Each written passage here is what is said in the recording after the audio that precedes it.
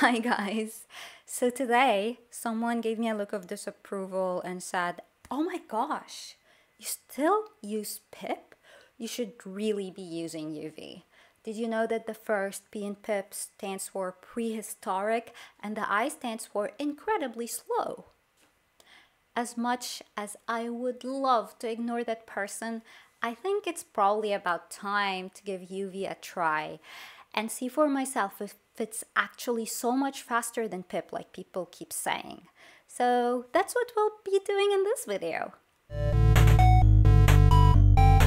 Alrighty, so first of all, let's find UV on GitHub. So UV, GitHub. Okay, so that's the UV repo. As you can see, it's popular. It has about 52,000 stars, which is impressive. And it seems to be updated regularly, which is cool as well. Oh, it says here in the highlights that it's a single tool to replace pip, pip tools, pipx, poetry, pyenv, twine, virtualenv, and more, and that it's 10 to 100 times faster than pip, which is something I really, really, really want to know if is true because that could potentially save us so much time, right? So uh, let's begin by installing it. So I'm on Windows, so I'll copy this command, which I think is uh, the command to install it via the standalone installer for Windows. But if you want, you could also use pip to install it with pip install UV apparently. Okay, so what I'm gonna do is I am going to open PowerShell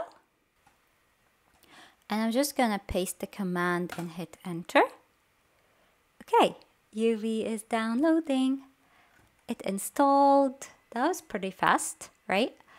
Okay, so I'm just gonna close this and I'm gonna create a new directory so we can test UV in Visual Studio Code. I'm gonna call it UV test. Let's open it in Visual Studio Code. Alrighty, now let's fire up terminal.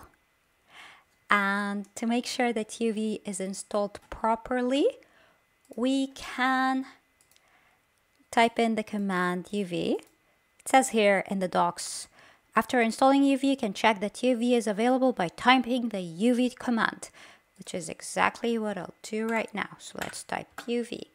Okay, looks like everything went as expected. An extremely fast Python package manager. All right, so it says here that we can use run to run a script and init to create a new project. Ooh, I want to try that. Let's try UV init. I have no idea what a UV project is. Okay, oh, okay.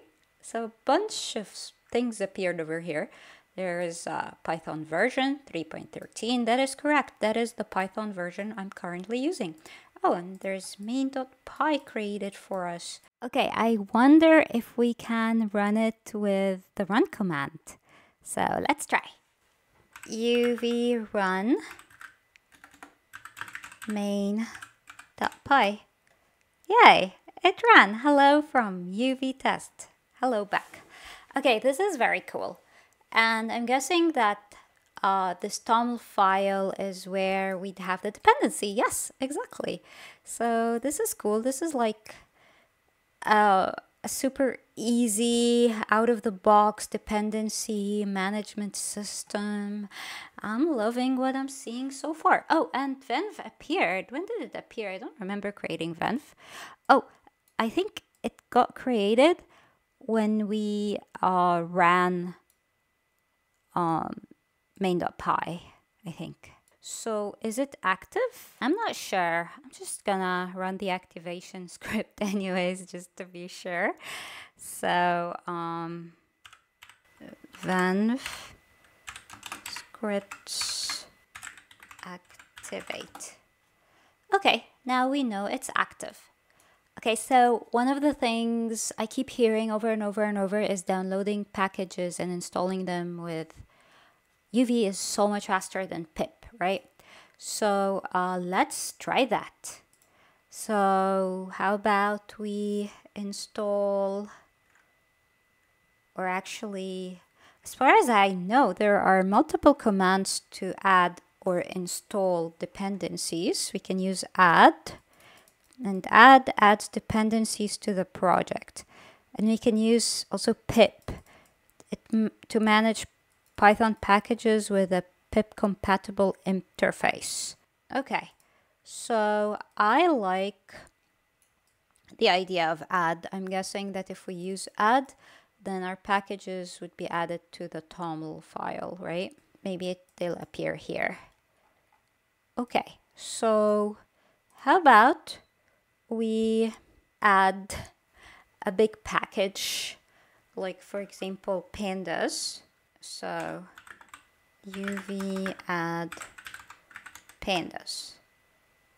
Okay, so I hear that one of the reasons why UV is super fast is because of its aggressive caching. Oh yeah, here it says UV uses aggressive caching to avoid re-downloading and rebuilding dependencies that have already been accessed in prior runs. So supposedly, oh wow, it's already done. okay, I thought it was gonna take longer actually. I mean, pandas is huge. So like I was saying, aggressive caching means that uh, the second time you download something, going to be much faster than the first time. So how about we test that? So let's make a another directory and call it uh, new there. okay, let's cd into it. Okay, and now uh, let's create venv and call it neuter. Okay, let's activate this venv. Okay, and now let's install pandas again. So uv, let's use pip install this time. So uv pip install pandas. Oh my gosh, this was so fast. Okay, so let's look at lib. Yeah, everything is there. Oh my gosh, unbelievable. I didn't expect this. I am mind blown.